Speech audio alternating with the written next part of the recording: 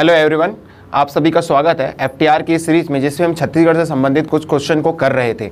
आज हम पर्यटन से संबंधित कम से कम 20 प्रश्नों को हल करेंगे और उस प्रत्येक प्रश्न के साथ जो उसका ऑप्शन दिया हुआ है, उसके प्रत्येक के सॉल्यूशन को भी देखते हम जाएँगे। ठीक? सबसे पहले आप सभी को हैप्पी न्यू ईयर आशा करता हूँ कि आपका ये साल खुशमंगल हो। चलिए, एक चीज़ आपको बतानी थी, एक सूचना है कि जो हमारा मोबाइल कोर्स चल रहा है जो हमारा मोबाइल कोर्स चल रहा है, उसमें 26 जनवरी 26 जनवरी गणतंत्र दिवस के उपलक्ष्य पे 5 परसेंट डिस्काउंट चल रहा है। वो भी टॉप 100 लोगों के लिए। ध्यान रखेंगे टॉप 100 लोगों के लिए। और अगर वो कोड ये यूज़ करता है, तब F T R M B C twenty six top hundred five percent का डिस्काउंट दिया जा रहा है। जिस प्रकार से सारे फैकल्टीज यहाँ पर एफटीआर में लेक्चर्स ले रहे हैं, ये एक ऑब्जेक्टिव पैटर्न पे वो क्या कर रहे हैं क्वेश्चन को डील कर रहे हैं और आपको थ्योरी बताने की कोशिश कर रहे हैं। इसका जो डिटेल वर्जन आपको मिलेगा, वो आपको मोबाइल कोर्स में प्राप्त हो जाएगा। वॉट एवर मैंने छत्तीसगढ़ का लाइक जियोग्राफी मैंने बताया, निखत मैम ने अपनी पॉलिटी डिस्कस की, अनंत सर के कुछ टॉपिक्स हैं और आने वाले सारे फैकल्टीज़ के, आपको मोबाइल कोर्स में लेक्चर्स टॉपिक वाइज मिल जाने के हैं।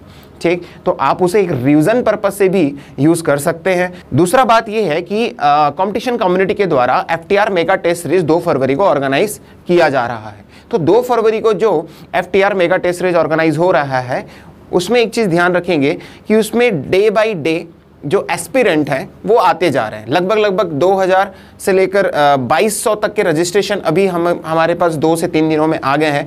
और ऐसा माना जा रहा है और ऐसा हम लोग समझ सकते हैं कि आने वाले टाइम में like twenty six of January या thirty twenty six I think last date है इसका तो ट्वेंटी सिक्स जनवरी तक इसमें टेन थाउज़ेंड प्लस लोग इसमें रजिस्टर होंगे।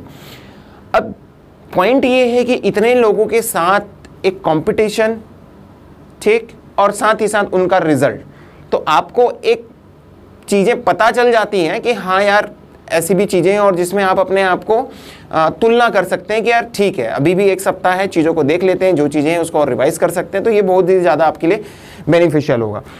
खैर, आज हम यहाँ पर पर्यटन से संबंधित कुछ क्वेश्चन करने जा रहे हैं, ठीक? तो पर्यटन से संबंधित कुछ क्वेश्चन मैंने लिए हुए हैं, जिसको आप देखेंगे।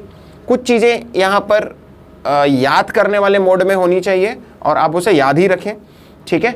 तो इसी क्रम में, इसी कड़ी में हम पहले क्वेश्चन की तरफ़ आगे बढ़ते हैं। तो पहला क्वेश्चन है आपका सेमुर गाँव नामक तीर्थ स्थल कहाँ है? ठीक तो सेमुर गाँव नामक तीर्थ स्थल कहाँ है? तो इसका आंसर देंगे आप लोग, क्या होगा? तो इसका आंसर होगा ए, कांकेर पे। कांकेर ज़िले पे सेमुर गाँव नामक तीर्थ स्थल है।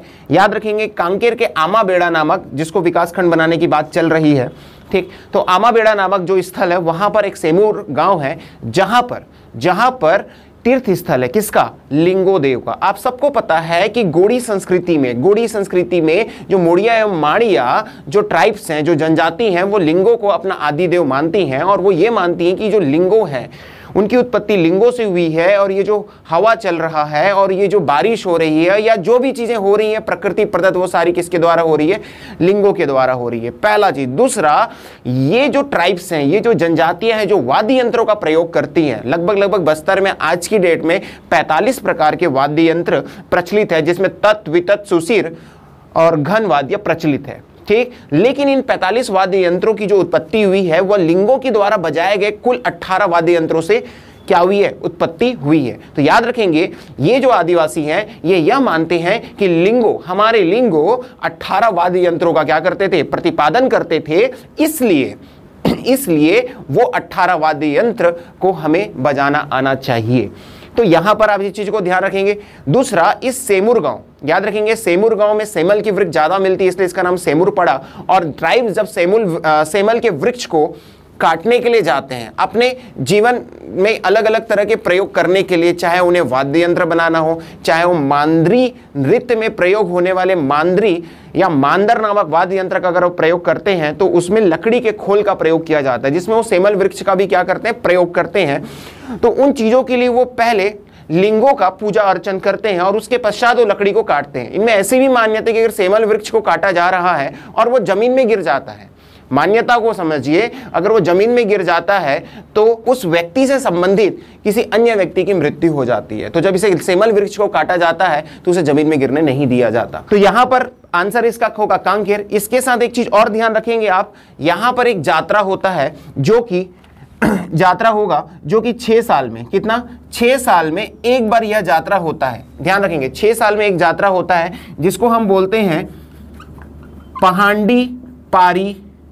पहांडी पारी, कुपर लिंगो यात्रा। ठीक? तो याद रखेंगे, पहांडी पारी, कुपर लिंगो यात्रा, जो कि सेमूर गाँव में, अर्थात लिंगो से संबंधित जो गोड़ी संस्कृति का तीर्थ स्थल है वहाँ पर पहांडी पारी कुपर लिंगो जात्रा हर छह साल में एक बार होता है। जात्रा जात्रा एक ऐसा वर्ड है जिसे आर्य संस्कृति की यात्रा वर्ड से लिया गया है। एक प्रकार से देवी एवं देवताओं का यह एक जुलूस होता है। जब मैं जगार की बात करूँगा, तब मैं जागरण बोलूँगा और जब मैं यात्रा की बात करूँगा, तब मैं जात्रा बोलूँगा। इस चीज़ को ध्यान रखेंगे आप लोग। चलिए तो इसका आंसर क्या हो गया? कांकेर। नेक्स्ट क्वेश्चन की तरफ़ बढ़ते हैं। क्वेश्चन नंबर टू रामगढ़ स्थित जोगी मारा गुफा अभिलेख में किस कला का संकेत मिलता है? ऑप्शन है पाक कला, मूर्ति कला, अभिनय कला और के सज्जा। चलिए तो रामगढ़ के बारे में सबको पता है। रामगढ़ जो पर्वत है वह सरगुजा ज़िले में स्थित है। रामगढ़ पर्वत सरगुजा ज़िले में स्थित है, पहला पॉइंट दूसरा पॉइंट इसी रामगढ़ पर्वत में हमें सीता बेंगरा की गुफाएँ, जोगी मारा की गुफाएँ एवं लक्ष्मण बेंगरा, अर्थात बहुत से रामायण कालीन स्थल प्राप्त होते हैं। ठीक और इसी रामगढ़ पर्वत में जब कालिदास जी दक्षिण कौशल होते हुए, दक्षिण कौशल होते हुए वकाटक डायनेस्टी यानी कि नागपुर की तरफ़ अग्रसर हो रहे थे, तब उन्होंने सरगुजा पर विश्राम किया और सरगुजा पर विश्राम करने के साथ ही साथ उन्होंने आसपास के वातावरण, प्रकृति के मृदंग को देखते हुए, प्रकृति के मृदंग को देखते हुए उन्होंने मेघदूतम नामक एक रचना की और उस मेघदूतम में रामगढ़ पर्वत का उल्लेख रामगिरी के नाम से है। ठीक? अब एक चीज़ और याद रखेंगे कि छत्तीसगढ़ में छत्तीसगढ़ में कालिदास रचित मेघदूत का छत्तीसगढ़ी संस्करण या छत्तीसगढ़ी में अनुवाद किसने किया? पंडित मुकुटधर पांडे ने। यानी कालिदास ने क्या रचना की? मेघदूत। उसकी र, उसका कन्वर्जन यानी उसका ट्रांसलेट छत्तीसगढ़ी में किसने किया? पंडित मुकुटधर पांडे ने। ठीक है? तो पंडित मुकुटधर पांडे ने उसका अनुवाद किया छत्तीसगढ़ी में। अब पॉइंट ये है कि यहाँ पर अभिनय कला का क्या? अभिनय कला का उदाहरण हमें मिलता है तो जोगी मारा जो गुफा है, जोगी मारा जो गुफा है, वहाँ से हमें अभिनय कला के बारे में पता चलता है, ध्यान रखेंगे। और जोगी मारा का गुफा को ही वरुण देव मंदिर भी कहा जाता है। और इसका उल्लेख, जोगी मारा गुफा का जो उल्लेख है, वह एक किताब है। ध्यान रखेंगे, एक किताब है जिसका नाम है भारत की चित्रकला। और भारत की चित्रकला नामक किताब में ही इस जोगी गुफा को वरुण टेंपल या वरुण मंदिर कहा गया है, क्योंकि इस जोगी मारा गुफा में एक मेकअप आर्टिस्ट थे, जिनका नाम था देवदत्त, और देवदत्त जो थे, वो वरुण देव के भक्त थे। इस कारण इसे क्या कहा गया? आपके वरुण मंदिर भी कहा गया। बाकी इसकी स्टोरीज आपको सारी चीज़ें आपकी किताबों में मिल जाती तो इसका आंसर होगा सी, अभिनय। प्रश्न नंबर तीन, देखते हैं, हथखोज मेला प्रतिवर्ष कहाँ और कब मनाया जाता है? हम सभी को पता है हथखोज मेला जो है, वह गरियाबंद में मनाया जाता है। ठीक? यानी हथखोज नामक जो स्थान है, वह कहाँ पर है आपका? गरियाबंद में। ठीक? गरियाबंद और महासमुंद का यह क्या पड़ता है आपका? बॉर्डर पड़ता है। तो ध्यान रखेंगे, ये अगर मैं गरियाबंद ले लूँ तो ये वाला जो कॉर्नर मुझे दिखता है, समझने के लिए, ये आप राजिम को लें और यहाँ पर आप रख सकते हैं क्या को? हथखोज को। ठीक? अब पॉइंट यहाँ पर यह है कि यहाँ से मेरी कौन सी नदी जाती है? ये जाती है मेरी महानदी। ठीक? और यहाँ से बॉर्डर बनाते ये कौन सी नदी आ गई? इसमें सम्मिलित हो गई आपकी पैरी नदी। पैरी की एक सहायक नदी क्या हो जाती है मेरी? सोंडूर नदी। क्लियर हो गई बात? चलिए, उसके बाद महानदी महानदी का पैरी नदी और पैरी की सहायक नदी हो गई सोंडूर नदी। अब नेक्स्ट पॉइंट है यहाँ पे कि यहाँ पे ये हथखोज के किनारे से एक नदी निकलती है, जिसको मैं बोलता हूँ सूखा नदी। ठीक? अब ये जो मैंने लिया हुआ याद रखेंगे, चिप्स की एक छत्तीसगढ़ से संबंधित एक एटलस आती है, जिसमें ये सारे नदियों के बारे में भी बताया गया है, ये रिसोर्स मैंने लिया हुआ है, ठीक वहीं से। तो ये सूखा नदी सूखा नदी की एक सहायक नदी है, जिसको हम बोलते हैं बगदई नदी। और बगदई की एक सहायक नदी है, जिसको हम बोलते हैं केसवा नदी, ठीक? और सूखा की हथखोज के पास एक और नदी है, जिसको हम बोलते हैं सारंगी नदी। क्लियर तो टोटल यहाँ पर हथखोज के पास, यानी हथखोज के पास जब महानदी आती है, यानी महानदी जब धमतरी धमतरी से गरियाबंद और रायपुर का बॉर्डर बनाते हुए आगे बढ़ती है और हथखोज के पास जब आती है तो सात नदियों के पानी, यानी कि सोंढूर एक, पैरी दो, महानदी तीन, सारंगी चार सूखा पाँच, बगदई छह और केसवा सात। इन सातों नदियों के पानी को यहाँ पर ये समाहित करती है और ये कॉर्नर पे, यानी कि ये जो ज्वाइंट है लाइक महासमुंद हो गया, गरियाबंद हो गया, और यहाँ पर सप्तधारा का निर्माण करती है। तो क्वेश्चन बन सकता है यहाँ पर कि सप्तधारा के निर्माण में निम्नलिखित में से कौन सी नदी नहीं है।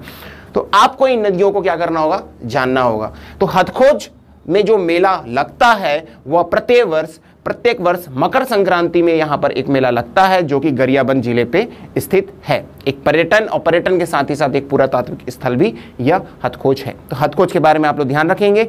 ठीक तो आंसर होगा ए, गरियाबंद जिला मकर संक्रांति। फिर बात करते हैं प्रश्न नंबर चार। बहुत ही महत्वपूर्ण प्रश्न है, जरा ध्यान से देखिएगा।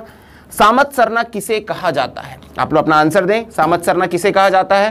पहला, ये विवाह के प्रतीक देवी देवता का स्थान है, या विवाह से संबंधित या विवाह के प्रतीक देवी देवता बोल सकते हैं। ब, यह विष्णु मंदिर के अवशेष है। ठीक है, अवशेष यानी कि टेंपल का जो डिस्ट्रॉयड फॉर्म होगा, ये वो बोला जाएगा, जो बलरामपुर ज़िले में स्थित है। चलिए देखते हैं। स, यह पुरातात्विक स्थल है, यहाँ भग्न शिव मंदिर की इमारत है, और यहाँ ब्रह्मा की बिन दाढ़ी मूछ की प्रतिमा का नाम है बोल रहा है। बिन दाढ़ी मूछ की प्रतिमा है, और उसे हम सामत सरना बोलेंगे। चलिए इसके बारे में समझते हैं। ठीक तो हम सभी को पता है कि बलरामपुर ज़िले पे कहाँ पे? बलरामपुर ज़िले पे एक डीपा डी नामक एक स्थल है। डीपा डी सबको पता है। डीपा डी कौन सा स्थल है? एक पुरातात्विक स्थल है। और इस डीपा डी के उत्खनन के साथ ही साथ यहाँ पे बहुत से रहस्यों का उजागर होता है। ठीक? इस डीपाडी के जो आसपास के क्षेत्र थे, वहाँ से कहीं से सतमहला निकला, कहीं से आपके सामत सरना के बारे में पता चलता है, कहीं पे कुछ भगनावेश, मंदिरों के कुछ भगनावेश प्राप्त होते हैं, जो मंदिरों का डिस्ट्रॉयड फॉर्म होगा, वो प्राप्त हुआ। तो इसने क्वेश्चन पूछा, सामत सरना किसे कहते हैं? तो इसका आंसर होगा, यह एक पुरातात्विक स्थल है, जहाँ पे भग्न शिव मंदिर है। तो याद रखेंगे, शिव मंदिर की बात कर रहा हूँ तो यहाँ पर विष्णु मंदिर कैंसल तो ब यहाँ से गलत हो जाता है यह विवाह के प्रतीक देवी देवता है? नहीं, यह एक स्थान है। सामत सरना एक स्थान है। याद रखेंगे, यह स्थल बोला, यह एक पूरा तात्विक स्थल है जहाँ पर शिव मंदिर के भग्नावेश पड़े हुए हैं। यहाँ कुछ ही दूरी पे ब्रह्मा की बिन दाढ़ी मुझ की प्रतिमा भी प्राप्त होती है। यह भी सत्य है बट ये नहीं पूछा है कि सामत सरना में क्या प्राप्त होता है। पूछा कि सामत सरना किसे कहा जाता है? सामत सरना एक आर्कियोलॉजिकल प्लेस है। रिमेंबर दैट चलिए तो यह एक पुरातात्विक स्थल है जहाँ भग्न शिव मंदिर है। पहला, दूसरा बिन दाढ़ी मुछ के ब्रह्मा जी की प्रतिमा मिली है। और यहाँ पे नोट करेंगे आप लोग, महिषासुर मर्दिनी, ठीक? महिषासुर मर्दिनी की भी प्रतिमा हमें यहाँ से प्राप्त होती है। तथा यहाँ पे कुछ अप्सराओं की कुछ अप्सराओं की प्रतिमा है जो वीड़ा बजाते हुए प्रदर्शित हो रही हैं। ठीक? तो इस तरीके से हम सामत सरना को रखते हैं। अगर सामत सरना पूछा कौन से ज़िले पे है तो पॉइंट याद रखेंगे बलरामपुर ज़िले। और अगर पूछता है कि सामत सरना निम्नलिखित में से किस प्लेस के अंतर्गत आता है तो याद रखेंगे डीपाडी नामक पुरातात्विक स्थल के अंतर्गत ही एक सामत सरना है। क्योंकि जब उत्खनन कार्य होता है तो उत्खनन के दौरान कुछ ऐसे जगह होते हैं जिसको उस नाम से, उस ग्रुप से उसको क्या कर दिया जाता है? संबोधित कर दिया जाता इंटाइटल कर दिया जाता है। चलिए नेक्स्ट क्वेश्चन की तरफ़ बढ़ते हैं। तो दोस्तों क्वेश्चन नंबर फाइव है। बलरामपुर के बारे में सत्य कथन है। तो याद रखेंगे, पहला कुड़िया झोरी मोरी का मंदिर बलरामपुर के डीपा डी नामक स्थान से प्राप्त हुआ। गलत। मैंने पहले ही बताया, कुड़िया झोर की वहाँ से नहीं है। दूसरा, खेड़ापति का मंदिर यहीं स्थित है। ब्रह्मा की बिंदाड़ी मोच की प्रतिमा यहीं मिली है। सामत सन्ना नामक स्थान डीपा डी बलराम क्या होगा? ऑप्शन बताए। इसका ऑप्शन होगा सी, तीन और चार। थ्री एंड फोर्थ इसका सही उत्तर है। यहाँ पर हम देखते हैं कि कौन कौन सा ऑप्शन यहाँ पे गलत हो सकता है। तो ध्यान रखेंगे, तीन, ब्रह्मा की बिन दाढ़ी मुझ की प्रतिमा, बिल्कुल सत्य है। दूसरा, सामसन नामक स्थान डिपडी बड़ा, मैंने प्रीवियस क्वेश्चन में इसको सॉल्व किया। अब बात करते हैं कुड़िया, झोरी, मोरी के मंदिर के बारे में। तो ध्यान दीजिएगा कि सरगुजा ज़िले पे, सरगुजा ज़िले पे एन एच वन थर्टी के निकट एक पूरा तात्विक स्थल है, जिसे हम बोलते हैं महेशपुर। और ये जो महेशपुर है, इसका अगर तट की बात करूँ तो ये होगा रिहन। रिहन नदी के तट पर। यहाँ पे जो उत्खनन कार्य हुआ 2008-2009 में यहाँ पे एक बृहद स्तर पर, बहुत ही लार्ज इस लार्ज लेवल पे यहाँ पे आर्कियोलॉजिकल सर्वे हुआ और उसके बाद यहाँ पर इसका एक्सकावेशन होता है, उत्खनन होता है। तब यहाँ पर जो प्राप्त मंदिर थे, कुछ प्रतिमाएँ थी, उनको चार समूहों में डिवाइड किया गया। ठीक? तो पहला जो समूह था, वह था शिव मंदिर ग्रुप या शिव मंदिर समूह। ठीक? दूसरा जो समूह था, वह था आदिनाथ टीला समूह। याद रखेंगे, आदिनाथ टीला टीला नामक ग्राम के पास आदिनाथ टीला समूह। तीसरा जो समूह था, वह था बड़का देउर बड़का देउर या इसी का ही नाम है आपका निशान पखना। निशान पखना टीला। ठीक? उसके बाद एक और आता है, जिसको हम बोलते हैं कुड़िया, झोरी, मोरी का मंदिर। ठीक है? या कुड़िया, झोरकी, मोरकी, मंदिर समूह बोला जाएगा। अब जो शिव मंदिर है, याद रखेंगे, केवल केवल याद रखें एट सेंचुरी शिव मंदिर के समूह यहाँ पर मिले। आदिनाथ टीला में ध्यान रखेंगे, ध्यान मग्न। ध्यान मग्न, जैन तीर्थंकर। कौन? ध्यान मग्न, जैन तीर्थंकर आदिनाथ की प्रतिमा मिली है यहाँ पे। ठीक? आदिनाथ टीला से टीला ग्राम के निकट होने के कारण इसे आदिनाथ टीला कहा गया। बड़का देवर या निशान पकना से कुछ मंदिरों के भग्न अवशेष मिले हैं डिस्ट्रॉयड फॉर्म में मिले हैं, जो कि शैव एवं वैष्णव धर्म को किसको? शैव एवं वैष्णव धर्म को क्या करते हैं? नेतृत्व करते हैं। ऐसी प्रतिमाएँ तथा मंदिरों के अवशेष मुझे यहाँ से प्राप्त होते हैं। ठीक? साथ ही साथ याद रखेंगे ये जो कुड़िया झोर की मंदिर है मेरा। इस कुड़िया झोर की मंदिर से मुझे क्या मिला है? यहाँ पे दो विष्णु मंदिरों की मुझे क्या प्राप्त हुई है? मंदिर प्राप्त हुए हैं, जो कि जो कि आपका टेंथ टेंथ के साथ ही साथ आपका इलेवेंथ सेंचुरी। टेंथ और इलेवेंथ सेंचुरी विष्णु मंदिर के अवशेष प्राप्त हुए तो याद रखेंगे, कभी अगर क्वेश्चन आता है कि कुड़िया ज़ोर की मूर्ति क्या है? तो याद रखेंगे, ये जुड़वा विष्णु मंदिरों के क्या है? अवशेष है और वो स्थल है। ठीक? तो इस तरीके से ये वाला ऑप्शन गलत हुआ क्योंकि ये बलरामपुर में नहीं है, ये सरगुजा ज़िले में स्थित है। तो इसका ऑप्शन होगा सी क्वेश्चन नंबर सिक्स पे आते हैं। इतिहास करो द्वारा दक्षिण कौशल विजेता निरुपति किसे कहते हैं? इतिहास करो द्वारा दक्षिण कौशल विजेता निरुपति किसको कहा जाता है? ऑप्शन बताएँ आप लोग, क्या हो सकता है? इसका ऑप्शन ए में दिया हुआ है कलिंग राज उसके पश्चात क्या दिया हुआ है? कमल राज ठीक? और उसके पश्चात दिया रत्नदेव प्रथम और उसके बाद दिया है पृथ्वीदेव प्रथम। तो याद रखेंगे, जब हम कलचुरियों को पढ़ते हैं, याद रखिएगा कि जब हम कलचुरियों को पढ़ते हैं और कलचुरियों के साथ ही छत्तीसगढ़ एवं दक्षिण कौशल का मध्यकालीन इतिहास पूर्ण होता है, लगभग लगभग 700 से लेकर साढ़े सात वर्षों तक इनका जो शासन रहा सात से लेकर साढ़े सात सौ वर्षों तक इनका शासन रहा। ये छत्तीसगढ़ में अभूतपूर्व, छत्तीसगढ़ के इतिहास को अभूतपूर्व बनाने के पीछे बड़ा ही महत्वपूर्ण भूमिका निभाता है। तो जो कलचुरियों का या कलचुरियों के जो प्रथम राजा थे छत्तीसगढ़ में या कलचुरियों का दक्षिण कौशल में संस्थापक की अगर मैं बात करूँ तो वो हैं आपके कलिंग राज जिनका टाइम था 1000 से लेकर 1020 तक। याद रखेंगे कलिंग राज के बाद इधर की स्टोरी अलग है। इधर की स्टोरी अलग है, ठीक? इसमें जो प्रत्येक राजा है लाइक कलिंग राज को पढ़ा जाता है, फिर कमल राज को पढ़ा जाता है, फिर रत्नदेव प्रथम रत्नदेव प्रथम ने मैरिज अलायंस के थ्रू मैरिज अलायंस के थ्रू अपने राज्य का विस्तार किया, क्योंकि इसने कोमोमंडल के राजा, उनकी पुत्री, कोमोमंडल के राजा वज्जुक वर्मन की पुत्री से इन्होंने विवाह करके पेंड्रा वाले क्षेत्र को क्या किया था एक्सपांड किया था।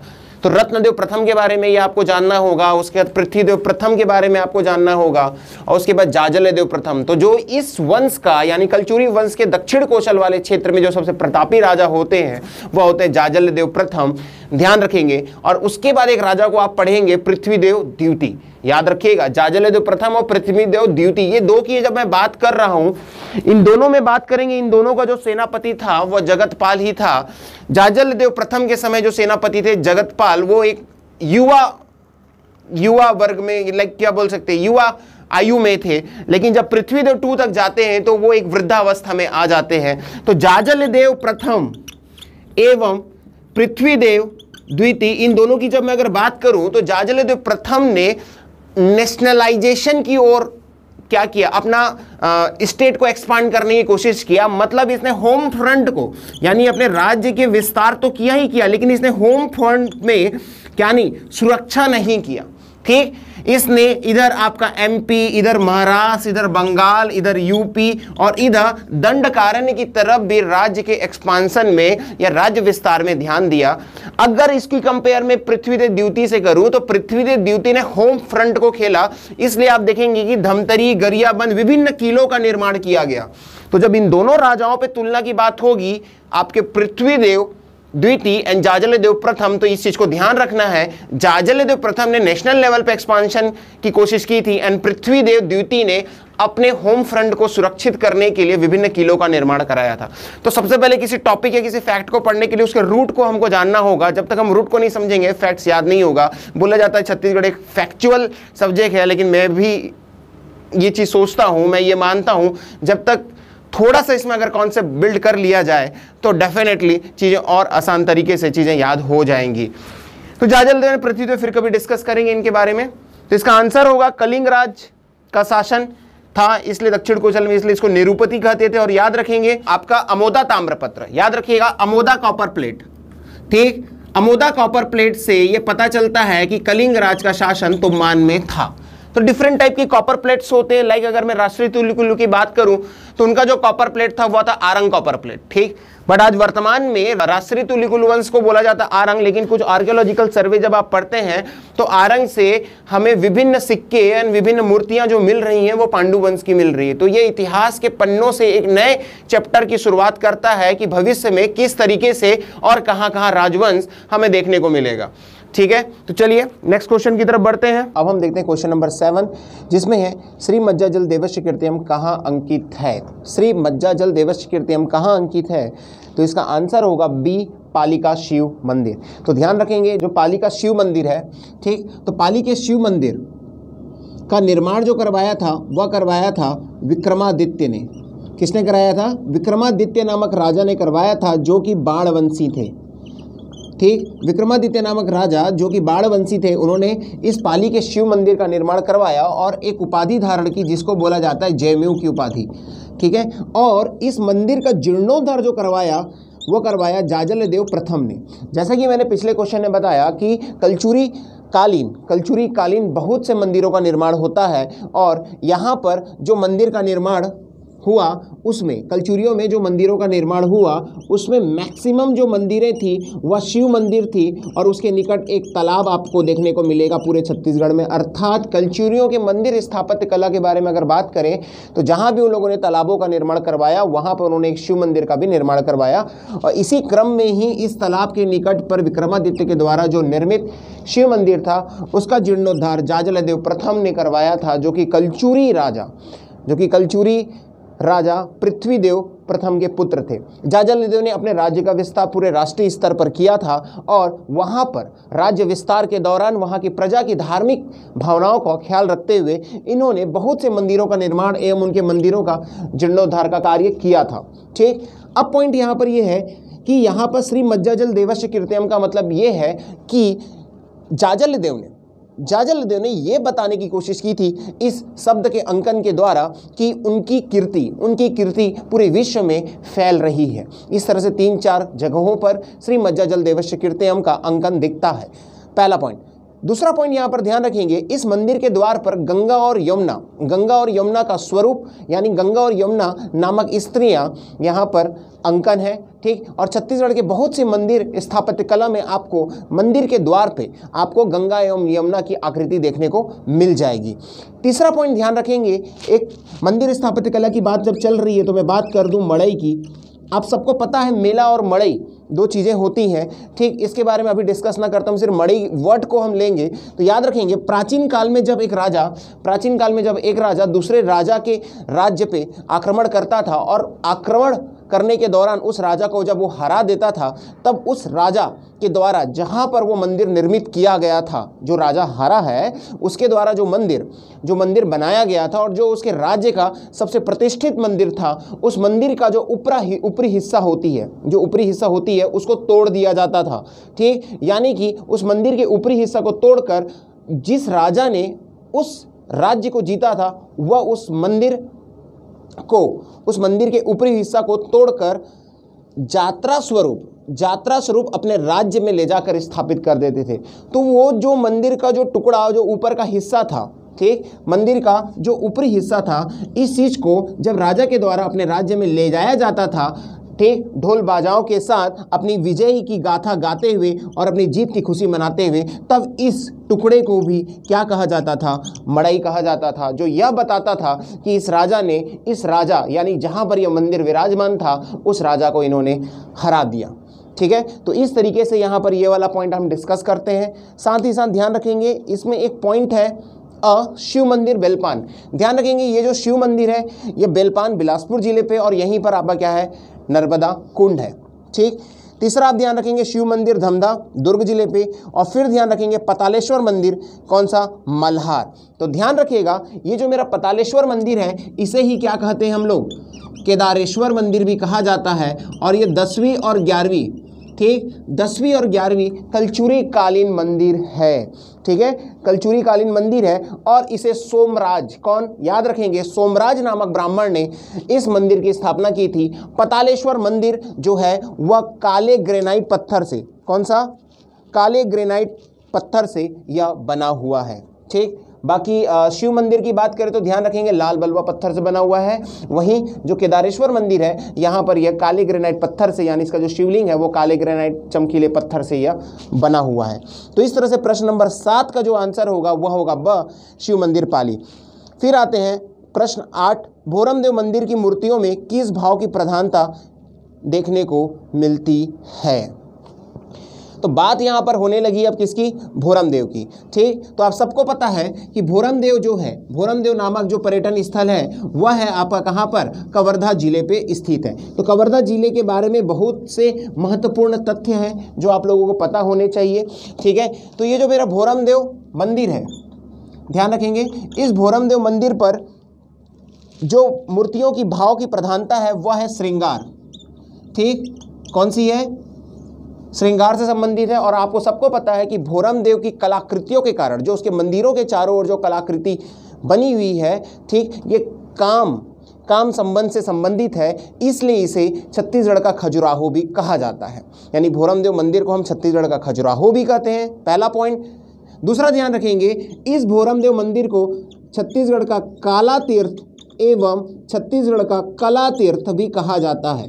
ठीक? तो पहला हमारा पॉइंट था छत्तीसगढ़ का खजुराहो, दूसरा छत्तीसगढ़ का काला तीर्थ इसलिए क्योंकि भोरम देव एवं भोरम देव के आसपास जो मूर्तियाँ हमें प्राप्त हुई है, चाहे वो मड़वा महल हो, चाहे छेरका महल हो, वहाँ पर संबंधित सारी मूर्तियाँ काले ग्रेनाइट पत्थर से बनाई गई है। इसलिए यह जो तीर्थ स्थल है ये जो धार्मिक पर्यटन तीर्थ स्थल है, उसे हम काला तीर्थ भी कहते हैं।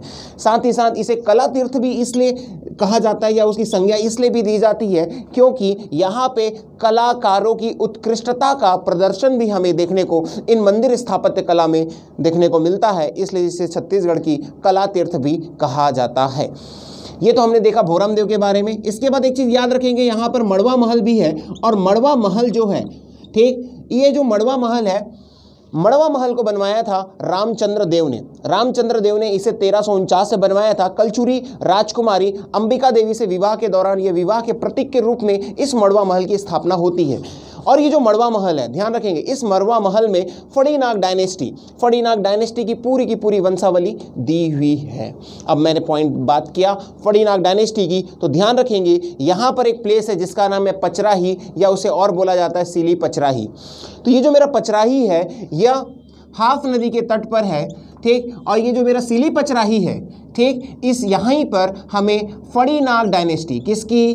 फड़ीनाग डायनेस्टी या फड़ीनाग वंश की सभ्यता के साक्ष्य या बसाहट के साक्ष्य भी प्राप्त होते हैं। यानी हमने यहाँ पे तीन पॉइंट डिस्कस किया। भोरम देव को छत्तीसगढ़ का खजुराहो, छत्तीसगढ़ का काला तीर्थ छत्तीसगढ़ का कला तीर्थ फिर हमने बात किया मड़वा महल के बारे में और फिर हमने थोड़ा सा फैक्ट देख लिया, सीली पचराई जो कि हाफ़ नदी के तट पर है और आपकी फड़ीनाग डायनेस्टी से संबंधित यहाँ पर क्या है? उनके बसाहटों के साक्ष्य मिलते हैं। ठीक? चलिए तो इसका प्रश्न नंबर आठ का जो आंसर होगा सी। देन हम नेक्स्ट क्वेश्चन की तरफ़ बढ़ते हैं। प्रश्न नंबर नौ, तारा की धात्विक प्रतिमा जो वर्तमान में लॉस एंजलिस की संग्रहालय में स्थित है, कहाँ से प्राप्त हुई है? चलिए तो ये क्वेश्चन जो है, इस क्वेश्चन के थ्रू मैं और भी क्वेश्चन डिस्कस कर लेता हूँ। इसका आंसर होगा बी सिरपुर, क्योंकि ये जो तारा की प्रतिमा थी, वह सिरपुर उत्खनन के द्वारा हमें प्राप्त हुई, जिसको अभी वर्तमान में तारा माता की प्रतिमा बोल सकते हैं, ठीक? तो वर्तमान में लॉस एंजलिस के संग्रहालय में रखा गया। ये पॉइंट तो फैक्ट है। फिर बात करते हैं ए मल्हार की। तो मल्हार किस नदी के तट पर है आपको ध्यान रखना है? या लीलागर नदी के तट पर है? ताला गाँव किस नदी के तट पर स्थित है तो आपको ध्यान रखना है। या मनियारी नदी के तट पर स्थित है? सिरपुर किस नदी के तट पर स्थित है तो आपको ध्यान रखना है। महानदी के तट पर स्थित है। और खैरागढ़ किस नदी के तट पर स्थित है तो याद रखेंगे ये आमनेर पिपरिया एवं मुस्का के संगम पर स्थित है। तो इस तरीके से इस क्वेश्चन को हमने इस तरीके से डील किया। आ, फिर हम लोग नेक्स्ट देखते हैं प्रश्न नंबर दस जिसमें लिखा है मल्हार के बारे में सत्य कथन है। चलिए ऑप्शन देखें आप लोग। बिलासपुर ज़िले की मस्तूरी तहसील में मल्हार नामक ऐतिहासिक पुरातात्विक स्थल है। यह कथन बिल्कुल सत्य अभी मैं मैप के थ्रू इसको आपको डिस्कस करता हूँ। प्राचीनगढ़ का किला मल्हार में स्थित है। बिल्कुल सत्य। तीसरा है मल्हार में पतालेश्वर मंदिर है। मैंने अभी थोड़ी देर पहले, दो क्वेश्चन पहले इसको मैंने आपको डिस्कस किया था। पतालेश्वर मंदिर क्या? पतालेश्वर मंदिर को केदारेश्वर मंदिर कहेंगे। कलचुरी का लिंग आपका क्या है ये? एक मंदिर है, टेन टू इलेवन सेंचुरी, और इसे सोमराज नामक ब्राह्मण ने क्या करवाया था? बनवाया था। तो ये पतालेश्वर मंदिर, ये भी सत्य है। फोर्थ है, प्राचीन काल में मल्हार में पत्तन के साक्ष्य प्राप्त हुए। हैं ये भी बिल्कुल सत्य है। तो चलिए आइए देखते हैं कि इतने सारे तथ्य कैसे सत्य हो सकते हैं। ठीक? तो चलिए आइए इसको हम लोग देखते हैं कि मल्हार जो है ठीक है? तो मल्हार जो है, वर्तमान में आप सबको पता है कि एक पेंड्रा मरवाही जिला बन चुका है, ठीक? और ये जो अभी बिलासपुर है, उस बिलासपुर में केवल कितने तहसील हैं? पाँच तहसील स्थित है। साथ ही साथ जो तीन तहसील हुआ, वो कहाँ निकल गया? पेंड्रा मरवाही एवं गौरेला में। ठीक है? चलिए। तो यहाँ पर एक नदी आती है, जिसका नाम है लीलागर। ठीक? और लीलागर आपके शिवनाथ में जाकर मिल जाएगी मुकुंदपुर नामक स्थान पे। इसी लीलागर के तट पर, यहाँ पर, यानी मस्तूरी तहसील पर एक मल्हार है जो कि आर्कियोलॉजिकल प्लेस है, ठीक? अब पॉइंट ये है ये है आपका लीलागर। यहाँ से बीच में आती है एक आपकी, कौन सी? अरपा, और ये है आपका शिवनाथ। तो ये मल्हार जो प्लेस है, ये एक बंदरगाह के साक्ष्य मिले ऐसा बोला गया है। समझते हैं। बंदरगाह के साक्ष्य मतलब सीधी सी बात, एक तरफ़ अर्पा, एक तरफ़ लीलागर और एक तरफ़ क्या है?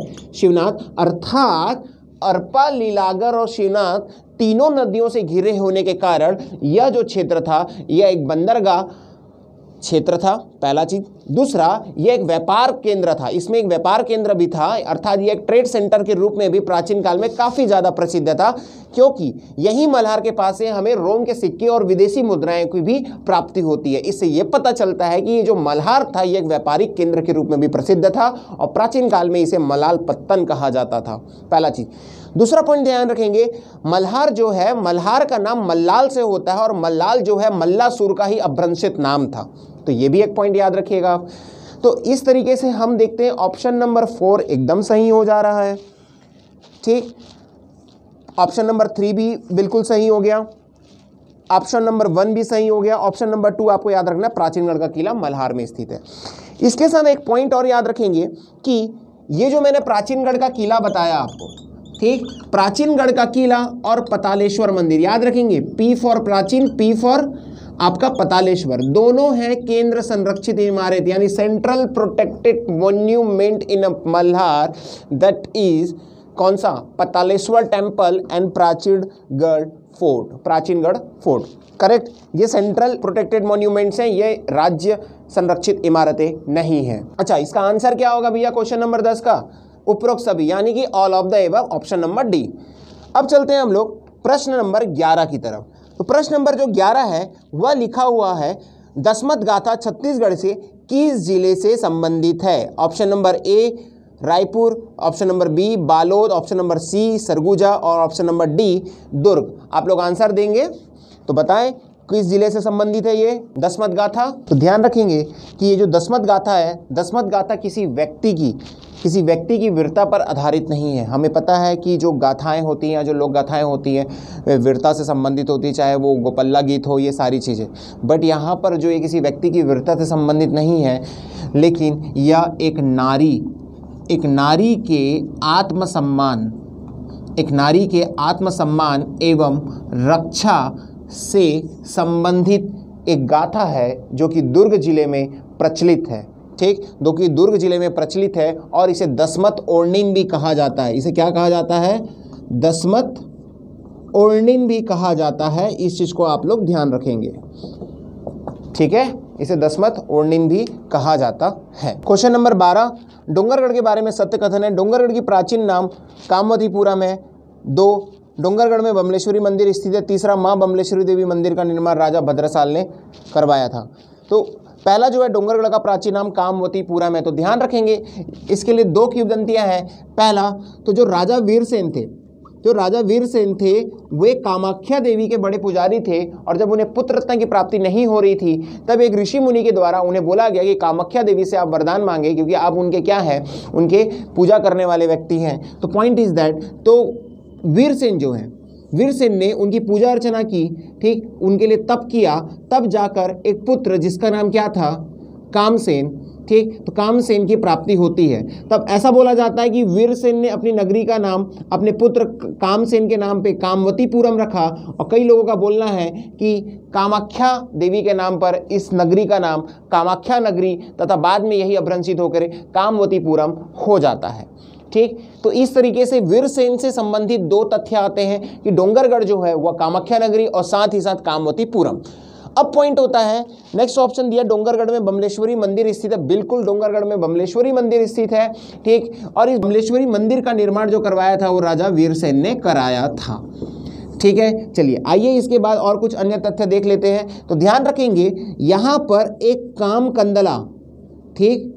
काम कंदला एक तालाब है ठीक? यहाँ पर एक काम कंदला तालाब है और इस काम कंदला के बारे में भी बहुत सी किदंतियाँ डोंगरगढ़ के आसपास प्रचलित है। आप सबको पता है डोंगर का मतलब होता है एक छोटी पहाड़ी और एक समय बहुत ही प्राचीन टाइम में या प्राचीन काल में इसका नाम डूंगर राज्य भी था। तो एक तरीके से हमने कामाख्या नगरी के बारे में बात किया, कामवतीपुरम के बारे में बात किया उसके बाद डूंगर राज्य के बारे में बात किया, फिर डूंगरगढ़ के बारे में बात किया, और ये जहाँ है, वह है राजनांदगांव जिला। इसका पहले नाम नांदगांव था। नांदगांव इसलिए था क्योंकि यहाँ पे बैरागी शासकों ने पहले शासन किया था और वो वैष्णव के क्या थे? उपासक थे। इसलिए इसका नाम नांदगांव होता है। साथ ही साथ नांद का मतलब होता है चीटियों का टीला। इसलिए इसका नाम नांदगांव पड़ता है और बाद में धीरे से ये राजनांदगांव पड़ जाता है और राजनांदगांव के बाद राजनांदगांव रियासत और राजनांदगांव रियासत के बाद राजनांदगांव जिला, अर्थात वो जिला जो अपने अंदर तीन रियासतों को समावेशित करके बना। पहला छुई खदान, दूसरा खैरागढ़ और तीसरा सुखुद राजनांदगांव रियासत। तो इस तरीके से हम लोगों ने इसे देखा। उसके बाद देखते हैं प्रश्न नंबर तेरह, जैन तीर्थंकर, नेमीनाथ, अजितनाथ तथा श्रेयांश की छः फीट की ऊँची मूर्तियाँ कहाँ स्थित है? इसका आंसर जो होगा, वह होगा D. Answer D, Arang. Arang कहाँ पर है, आप सबको पता है, रायपुर में। तो याद रखेंगे, यहाँ पर टेंथ सेंचुरी, यहाँ पर टेंथ सेंचुरी हमको मिलता है बागेश्वर। बागेश्वर टेंपल मिलेगा, दसवीं शताब्दी का बागेश्वर मंदिर हमें मिलेगा, तथा इलेवन टू ट्वेल्थ सेंचुरी का यहाँ पर हमें जैन मंदिर, जिसको हम बोलते हैं भांडल देव टेंपल या भांडल देव मंदिर की प्राप्ति होती है। तो ये दो मंदिर तो एटलीस्ट आप आरंग को लेके याद रखें। और यहाँ पे पंचमुखी हनुमान, इन सब की प्रतिमाएँ भी मिलती है। और यहाँ पे मंदिरों का जखीरा है, इसलिए इसे मंदिरों की नगरी आरंग कहा जाता है। तो टेंथ सेंचुरी बाग देउल या बागेश्वर या बाग देवता करके बोला जाता है, लेकिन इसे आप ध्यान रखेंगे बागेश्वर टेंपल और इलेवन टू ट्वेल्थ सेंचुरी इसे आप बात करेंगे भांडल देव मंदिर, जैन मंदिर स्थित है। साथ ही साथ एक चीज़ और याद रखेंगे इंदल देउल साथ में बड़ा कंफ्यूजन हो जाएगा, इसलिए इसको भी याद रखें इंदल देउल मंदिर। ठीक? तो ये जो इंदल देउल मंदिर है, ये आपका कहाँ पर है? इसका आंसर आप लोग देंगे। ठीक? इंदल देउल और साथ ही साथ एक चीज़ और याद रखेंगे कंठी देउल मंदिर। इसका मैं आंसर आपको बता दे रहा हूँ। कंठी देउल कहाँ पर है? तो कंठील देउल है आपका रतनपुर में। ठीक? तो रतनपुर में कंठी देउल भांड देउल और इंदल देउल इंदल देउल को आप लोग, मेरे ख्याल से सबको पता है तो प्लीज़ इसे आप आंसर पोस्ट करें। चलिए तो क्वेश्चन नंबर तेरह का जो आंसर होगा, वह होगा डी इसके पश्चात हम चलते हैं क्वेश्चन नंबर फोर्टीन की तरफ़. तो क्वेश्चन नंबर जो फोर्टीन है, वह है छत्तीसगढ़ के कबीर पंथी प्रतिवर्ष माघ पूर्णिमा को निम्न स्थानों में मेले का आयोजन करते हैं। प्रतिवर्ष निम्न स्थानों पर मेले का आयोजन करते हैं। चलिए देखते हैं। पहला ऑप्शन दिया है कुदुरमाल में, दूसरा दिया है गिरौदपुरी में, तीसरा दिया दामाखेड़ा में और चौथा दिया है खरौद में। तो क्या लगता है आपको इसका आंसर क्या होना चाहिए? तो इसका आंसर बट ऑब्वियस सी बात है, सही है। वन एंड थ्री यानी कुदुरमाल और दामाखेड़ा, यानी कुदुरमाल और दामाखेड़ा जो है यह कबीरपंथियों से संबंधित एक स्थल या धार्मिक स्थल है, जिसमें दामाखेड़ा को कबीरपंथियों का तीर्थ स्थल भी कहा जाता है। तो चारे ऑप्शंस को हम लोग एक बार क्लियर करते हैं नदियों के आधार पर। देखिएगा, कुदुरमाल जो है, वह हसदेव नदी के तट पर है गिरोधपुरी जो है, वह आप किसके तट पर है? आप लोग बताएँ, जोग नदी के तट पर है। गिरोधपुरी के साथ ही साथ तीन चीज़ों को और याद रखेंगे आप। गिरोधपुरी में गुरु घासीदास जी का जन्म होता है, पहला पॉइंट दूसरा, छाता पहाड़ में गुरु घासीदास जी को ज्ञान की प्राप्ति होती है और तीसरा, भंडारपुरी में गुरु घासीदास जी को को निर्माण की प्राप्ति होती है। तो तीन चीज़ें आपका क्लियर हो गया। एक तो भंडारपुरी, दूसरा छाता पहाड़ और तीसरा गिरौदपुरी। गिरौदपुरी में इनका जन्म होता है छाता पहाड़ में इन्हें ज्ञान की प्राप्ति होती है और भंडारपुरी में इनको किसकी प्राप्ति होती है? निर्माण की प्राप्ति होती है। तो ये गिरौदपुरी से संबंधित हो गया। अब तीसरा पॉइंट आते हैं दामाखेड़ा की तरफ़। अगर दामाखेड़ा में अगर रिवर के बारे में बात करेगा, ध्यान रखेगा रिवर के बारे में अगर बात करेगा तो अगर ऑप्शन में कोई और रिवर नहीं दिया और शिवनाथ दिया तो आपको शिवनाथ ही लेना है। तो दामाखेड़ा के नज़दीक पे शिवनाथ रिवर है, आप शिवनाथ रिवर को माने। उसके बाद चौथा है आपका खरौद। खरौद जो है, यह महानदी शिवनाथ एवं जोग के संगम स्थल, यानी शिवरी नारायण से दो से तीन किलोमीटर दूर पर स्थित एक स्थल है। और ये जो खरौद है, इसका जो प्राचीन नाम था, यह इंद्रपुर था। और यह सरबपुरी डायनेस्टी से संबंधित यहाँ पर क्या है, एक मंदिर है, जिसको हम क्या बोलते हैं? लखनेश्वर मंदिर। याद रखेंगे, लखनेश्वर मंदिर बोला जाता है, क्योंकि यहाँ पर एक लाख चावल चढ़ाने की परंपरा है। साथ ही साथ इसे लक्ष्मणरेश्वर मंदिर भी बोला जाता है। ठीक, तिरपुर के जो विष्णु मंदिर है, जो सिरपुर का जो विष्णु मंदिर है, उसे लक्ष्मण मंदिर बोला जाता है और यहाँ का जो शिव मंदिर है, कहाँ का? खरौद का उसे लक्ष्मणेश्वर मंदिर बोला जाता है। इन दोनों का आप ध्यान रखेंगे। ठीक, इसके बाद एक चीज़ और ध्यान रखें। गिरौतपुरी में सतनाभ धर्म से संबंधित होने के कारण यहाँ पे माघ शुक्ल पक्ष माघ शुक्ल पक्ष दसवीं से पूर्णिमा तक। कब तक? माघ शुक्ल दसवीं से पूर्णिमा तक यहाँ पर मेला लगता है। कहाँ पे? गिरौदपुरी में माघ शुक्ल दसवीं से पूर्णिमा तक मेला लगता है। मेले की बात हुई है तो कुछ तथ्य आपको याद रखने होते हैं कि कौन कौन से प्लेस में किस किस प्रकार के मेला लगते हैं। आगे हम एक क्वेश्चन अभी देखते हैं, जिसमें आपको कुछ चीज़ें और क्लियर हो जाएँगी। तो क्वेश्चन नंबर जो चौदह था उसमें हमें पता चल गया कि कबीर पंथी में प्रतिवर्ष माघ पूर्णिमा में कुदुरमाल और दामाखेड़ा में, कुदुरपाल कोरबा में, गिरौदपुरी बलौदा बाज़ार में, दामाखेड़ा आपका कहाँ पर है? बलौदा बाज़ार में और खरौद जो है वो जांजगीर चांपा में। गिरौदपुरी में जो मेला लगेगा, माघ शुक्ल पक्ष दसवीं से पूर्णिमा तक लगता है। शुक्ल पक्ष समझ में आ रही बात? चलिए, उसके बाद नेक्स्ट क्वेश्चन है आपका क्वेश्चन नंबर पंद्रह, ख्याला मांगने की परंपरा। क्या? ख्याला मांगने की परंपरा ख्याला मांगने की परंपरा कौन से मेले में स्थित है या प्रचलित है? तो पहला पॉइंट है, शंकरगढ़ का घिर्रा मेला, दूसरा बस्तर का चित्रकूट मेला, तीसरा रामनामी बड़े भजन का मेला, और चौथा रौताई मड़ी रौताई मड़ी का मेला। तो कौन सा होगा आंसर? बताएँ। ख्याला मांगने की परंपरा है। कहाँ पे? तो इसका आंसर होगा शंकरगढ़ का घिर्रा मेला, यानी कि बलरामपुर का घिर्रा मेला में यहाँ पे रंग बिरंगों झंडों के साथ ही साथ कुछ ख्याला, यानी आशीर्वाद मांगने की भी यहाँ पर क्या है? परंपरा है। तो इसको मेन इंपॉर्टेंट पॉइंट ये है कि शंकरगढ़ में कौन सा मेला प्रसिद्ध है? कौन सा खिर्रा मेला प्रसिद्ध है। इस चीज़ को आप लोग ध्यान रखेंगे। उसके बाद ध्यान रखते हैं इसमें तीसरे नंबर में रामनामी बड़े भजन का मेला। ठीक?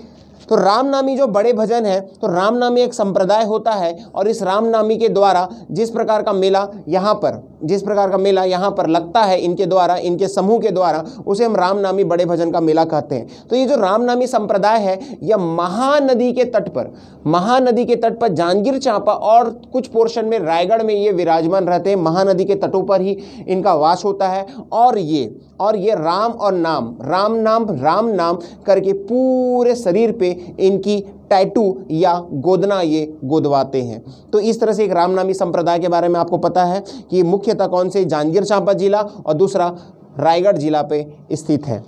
ठीक? चलिए। उसके बाद चौथे नंबर पे एक लिखा हुआ है रौताई मड़ी तो ध्यान रखेंगे, रौताई मड़ी जो है, वह कौशिर नामक एक ग्राम है रायगढ़ पे। ठीक? रायगढ़ में एक कौसिर ग्राम है और इस कौसिर ग्राम में, इस कौसिर ग्राम में लगभग लगभग जनवरी के समय ही, जनवरी के समय ही राउत जाति के द्वारा यहाँ पर एक रौताई मड़ी होता है जो कि काफ़ी प्रसिद्ध है और इस कौसिर गाँव में ही, इस कौसिर गाँव में ही कौशलेश्वरी कौन सी? कौशलेश्वरी कौशलेश्वरी देवी टेंपल है, ठीक? तो यहाँ पर आपको ध्यान रखना है कि जो रौताई मड़ी होगा, वह रायगढ़ ज़िले के कौशिर ग्राम में होगा और वहाँ पे कौशलेश्वरी देवी का भी मंदिर है। इस तरीके से हम लोगों ने मेले वाले कुछ पोर्शंस को यहाँ पे ख़त्म किया। उसके बाद याद रखेंगे कि सरगुजा का जो यात्रा होता है, सरगुजा का जो यात्रा मेला होता है, उसे हम बोलते हैं घूम घूम कर मेला लगाना और यह मुख्यतः अगहन मास के आसपास होता है, ठीक? तो याद रखिएगा, यहाँ पे सरगुजा में कुछ प्रमुख क्षेत्र हैं, ठीक? जैसे कि आपका कुदरगढ़ हो गया कुटी घाट हो गया, ये जो सरगुजा वाला बेल्ट है आपका, ठीक है? यहाँ पर रामनवमी में मेला भरता है, ठीक? और कोरिया वाला कुछ क्षेत्र होगा लाइक कोरिया, बैकुंठपुर वाले क्षेत्र में, यहाँ पे गंगा दशहरा के समय मेला लगता है। इसको और ज़्यादा एक्सप्लेन ना करते हुए हम अगले क्वेश्चन की तरफ़ रुख करते हैं, ठीक? अच्छा एक चीज़ और याद रखेंगे, एक और मेला के बारे में बात कर लेता हूँ मैं, घुंडैया का मेला। घुंडैया का मेला, और यह जो मेला जो मैंने सबसे पहले क्वेश्चन में बताया था, हथखोज, ठीक? तो हथखोज के निकट, हथखोज के निकट ये सूखा नदी एवं बघई बख नई नदी के तट पर यह मेला होता है, जिसको हम बोलते हैं घुंडैया का मेला। ठीक तो बगनई नदी और सूखा नाला के संगम पर, यानी उनकी त्रिवेणी संगम पर, यह मेला, घुंडैया का मेला, जो हथखोज के निकट ही है, वहाँ पर होता है, ठीक? और हथखोज में हमने मेला कहाँ पर बात किया था? मकर संक्रांति पे। चलिए, फिर आते हैं क्वेश्चन नंबर सोलह, ठीक? क्वेश्चन नंबर सोलह पे आएँगे, बिलासपुर से संबंधित सत्य कथन कौन सा है? तो ध्यान रखेंगे, बिलासपुर से संबंधित सत्य कथन में पहला पॉइंट दिया इसका नामकरण बिलासा नामक केवटिन के नाम पर हुआ। इसको संस्कारधानी भी कहा जाता है। तीस सितंबर उन्नीस को सोलवे रेलवे जोन बिलासपुर मुख्यालय घोषणा की गई। गारे पेलमा सेक्टर डी बिलासपुर संभाग में इसी को ध्यान रखेंगे। गारे पेलमा सेक्टर डी बिलासपुर संभाग में स्थित है, इसकी यह बात कर रहा है।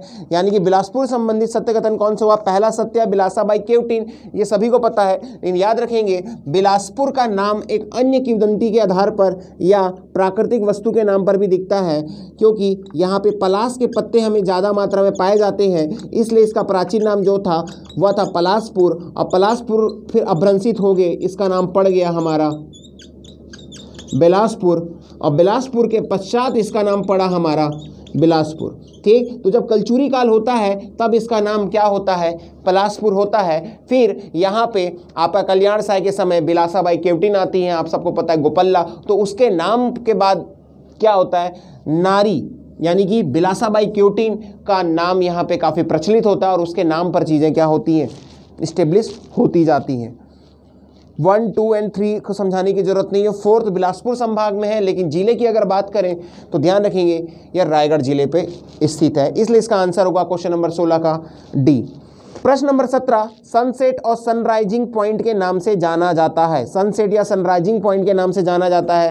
पहला आंसर ही इसका आंसर है, ये होगा सरोदा पॉइंट। तो ध्यान रखेंगे, सरोदा पॉइंट को सनसेट या सनराइजिंग के नाम से जाना जाता है और यह कवर्धा ज़िले पे चिल्फी घाटी के निकट आपके मतलब छत्तीसगढ़ और आपके मध्य प्रदेश के सीमा पे छत्तीसगढ़ राज्य के कवर्धा ज़िले में स्थित है, जिसको हम सरोदा पॉइंट कहते हैं, जिसे सनसेट या सनराइजिंग पॉइंट भी कहा जाता है। बाकी जितने पॉइंट दिया हुआ है, बी, सी, एंड, डी, ये सारे सरगुजा ज़िले में मैन पार्ट में स्थित है, ठीक? चलिए क्वेश्चन नंबर सत्रह के बाद हम लोग चलते हैं। क्वेश्चन नंबर अट्ठारह की तरफ़ रुक करते हैं। तो ध्यान दीजिएगा क्वेश्चन नंबर अट्ठारह स्टेलेक्टाइट और स्टेले मैग्नाइट आकृतियों के बारे में सत्य कथन है। पहला स्टेलेग्नाइट गुफा की छत से चूना युक्त जल के बहाव से बनती है, यानी कि जो लाइम स्टोन यानी कैल्शियम जो कार्बोनेट है, वो जब नीचे गिरती है तो ये बोल रहा है। दूसरा स्टेलेक्टेड गुफा के धरातल में चूना पत्थर के जमाव से ऊपर उठती हुई आकृतियों की बात कर रहा है। ठीक स्टेलेक्टाइट में स्टेलामैग्नाइट से निर्मित बस्तर में कुटुमसर गुफा है, ठीक? यह आकृति से निर्मित गुफा कांगेर घाटी राष्ट्रीय उद्यान में स्थित है। क्या होगा भाई इसका आंसर? बताएँ। तो इसका आंसर होगा कथन तीन और कथन चार। क्या होगा? कथन तीन और कथन चार अर्थात चूने की आकृति से निर्मित जो गुफा है, वह कुटुमसर गुफा है, ठीक? और यह एक भूगार्भी गुफा है। क्या? यह एक भूगार्भी गुफा है और यह कहाँ पर स्थित है? आपके बस्तर ज़िले पे और बस्तर ज़िले में ही कहाँ स्थित है? कांगेर वैली नेशनल पार्क में। तो ध्यान देते हैं, ठीक? ये इस तरीके से आप सबको पता है कि बस्तर वाले एरिया में यहाँ पर चूने का बिंझावर सीरीज़, चूने की हमने तीन सीरीज़ देखा था, पहला रायपुर सीरीज़, बिंझावर सीरीज़ और चंद्रपुर सीरीज़। तो बिंझावर सीरीज़ वाला जो भाग है, यहाँ पर जब पानी बस्तर में बहुत सी नदियाँ हैं। जब नदियाँ यहाँ पर बहती है तो यहाँ पर इस बिंझावर सीरीज़ का जो कैल्शियम कार्बोनेट है, वो नीचे की तरफ़ क्या होता है? रिसने लगता है। ठीक? और ये जो गुफा का निर्माण हुआ है, ये यहाँ पर सेडिमेंट्री रॉक में हुआ याद रखेंगे, मैक्सिमम जो केव्स का फॉर्मेशन होता है, वो सेडिमेंट्री रॉक्स में होता है, क्योंकि वो आसानी से पानी के द्वारा कट जाता है या उसे काट दिया या अप्रदित या इरोड कर दिया जाता है। इसलिए जो गुफा होता है वो सेडिमेंट्री रॉक्स में ही होता है। मैक्सिमम यानी कि 75 से 80 परसेंट चांसेस है कि वो सेडिमेंट्री रॉक में ही बनेगा। ठीक, अब ध्यान रखेंगे कि जो जो चूना रिस रिस कर इस तरीके से नीचे आ रहा है और उसके बाद ये धीरे धीरे धीरे यहाँ पर भी आकृति का क्या कर रहा है? निर्माण कर रहा है। तो इस तरीके से यहाँ पर हमें आकृतियाँ दिखने लगती हैं। अभी वहाँ की आकृतियाँ थोड़ी धूमिल पड़ गई हैं क्योंकि वहाँ पर हम मानवों का प्रवेश हो गया है, जिससे कि वहाँ पे एक अलग फ्रिक्वेंसी और एक अलग एनर्जी वहाँ पर आती है, जिससे कि वो अफेक्टेड हो गए हैं, जिससे उनकी चमक थोड़ी कम हो गई है। लेकिन पॉइंट ये है कि यहाँ पर इसे कहा, क्या कहा जाएगा? इसे कहा जाएगा स्टेलेक्टाइट कहा जाएगा, ठीक? और इसे क्या कहा जाएगा? इसे कहा जाएगा स्टेले मग नाइट यानी कि नीचे से जो ऊपर जा रहा है, उसे माँ माँ मछली मछली जो होता है, हमेशा नीचे तैरती है। तो यह अर्जुन वाला केस मैं नहीं बोल रहा हूँ। ठीक अर्जुन में तो ऊपर थी। तो स्टेले मगनाइट जो है स्टेले मगनाइट म यानी मछली नीचे, यानी नीचे से ऊपर को आकृति को स्टेले मगनाइट और जो अपोजिट आ गया उसे स्टेलेक्टाइट कहा जाता है। तो चूने से निर्मित ये आकृतियाँ हैं और कुटुम सर गुफा का अन्य नाम है कोटम सर गुफा भी बोला जाता है। और यहाँ पे अंदर पे एक शिव लिंग या शिव की प्रतिमा भी स्थित है। ठीक और यहीं पर कुटुमसर गुफा में कुछ अंधी मछलियाँ पाई जाती है, जिसकी खोज सर्वप्रथम डॉक्टर शंकर तिवारी ने की थी। अंधी मछलियाँ इसलिए क्योंकि यहाँ तक सूर्य का प्रकाश नहीं पहुँच पाता, जिसके कारण उनके आँखों के सामने एक हल्की सी स्किन की या एक प्लाज्मा या एक झिल्ली सी परत छा गई है जिससे वो देखने में असमर्थ हो जाते हैं। वहाँ झिंगुर की भी प्राप्ति होती है, साथ ही साथ अंधी मछलियों की भी प्राप्ति होती है। और जो अंधी मछलियाँ हैं, उसे हम कैप्पियोला संक्राई कहते हैं, क्योंकि डॉक्टर प्रोफेसर शंकर तिवारी ने इनकी सर्वप्रथम खोज की थी। तो इसका आंसर होगा केवल सी यानी केवल तीन और चार। अब हम चलते हैं प्रश्न नंबर 19 की तरफ़। खरौत के बारे में निम्नलिखित सत्य कथन है। खरौद के बारे में निम्नलिखित कथन सत्य है। इसके पहले ही बात हुआ था। पहला पॉइंट दिया हुआ है, छत्तीसगढ़ के खरौद में लक्ष्मणेश्वर मंदिर स्थित है। ठीक है।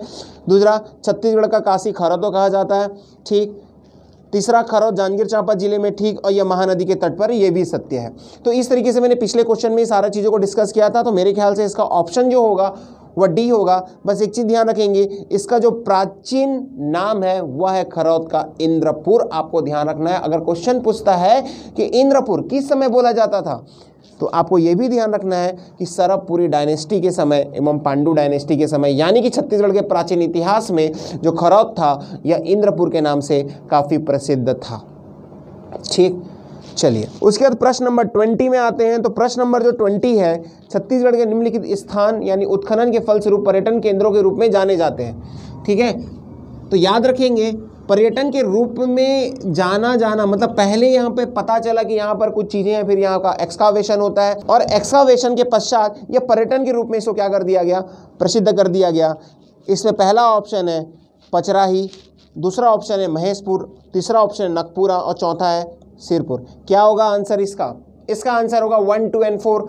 चलिए आइए देखते हैं, पहला पचराही के बारे में बात करते हैं। तो पचराही एक पुरातात्विक स्थल है, तथा साथ ही साथ यह हाफ़ नदी के तट पर है, और फड़ीनाग डायनेस्टी फड़ीनाग वंशियों के बसाहट का साक्ष्य हमें पचराही से मिलता है। दूसरा पॉइंट याद रखेंगे, महेशपुर के बारे में मैंने पहले भी डिस्कस किया। महेशपुर में हमें शिव मंदिर, आदिनाथ टीला निशान पकना टीला और कुड़िया झोर की मंदिर समूह मिलता है और जैसे ही ये उत्खनन कार्य 2008 और 9 में स्टार्ट होता है, तब ये वाला प्लेस प्रसिद्ध पर्यटन स्थल के रूप में स्थापित होता चला गया और राज्य सरकार के द्वारा यहाँ पर कार्य किया जा रहा है।